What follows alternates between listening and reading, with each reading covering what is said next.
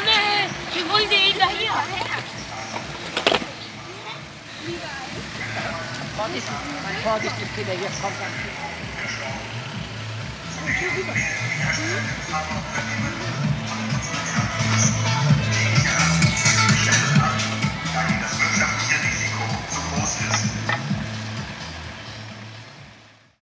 Dies ist eine Information besorgter Bürger. Überlegen Sie sich gut, ob Sie sich impfen lassen, denn Corona-Impfstoffe sind nicht sicher.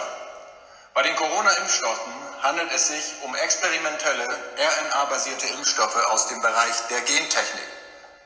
Diese Impfstoffe sind trotz 20-jähriger Forschung noch nie zugelassen worden und werden jetzt nach nur achtmonatiger Entwicklungsphase der Bevölkerung verabreicht. Mittlerweile sind zahlreiche Menschen kurz nach der Impfung verstorben. Zudem lehnen die herstellenden Pharmaunternehmen und unsere Krankenkassen jegliche Haftung für Impfschäden ab, da ihnen das wirtschaftliche Risiko zu groß ist.